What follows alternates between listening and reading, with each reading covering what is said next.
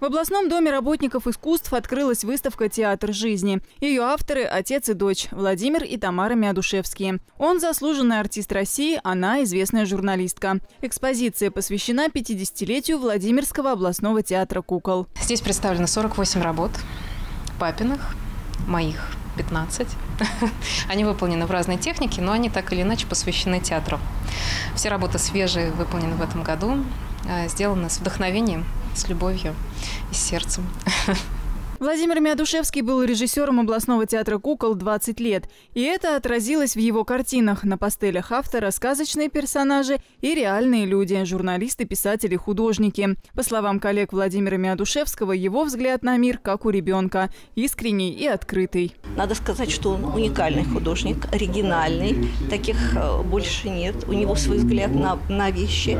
Э, он видит мир своими глазами, глазами э, художника, глазами глазами артиста, глазами доброго человека и глазами э, режиссера театра для детей.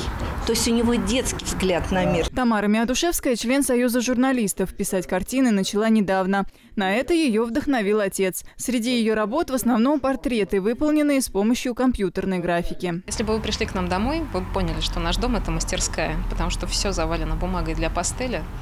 Это коробки пастели, коробки бумаги. Э, я вот единственное, что я рисую, поскольку электронными перьями, э, я достаточно компактно э, свои работы складирую. То, что касается папы, да, это просто такие вереницы рам, горы бумаг. И это на самом деле здорово, когда человек не теряет любовь к жизни и такой невероятный энтузиазм и продолжает каждый день рисовать новые и новые работы. Тамара Миадушевская подарила нескольким зрителям свои работы, написанные по заказу столичной библиотеки имени Ахматовой. На них изображены Сальвадор Дали, Коко Шанель и Владимир Маяковский. Выставка будет работать до конца октября. Екатерина Старикова, Артем Яковенко, Андрей Беляков, Куберния, 33.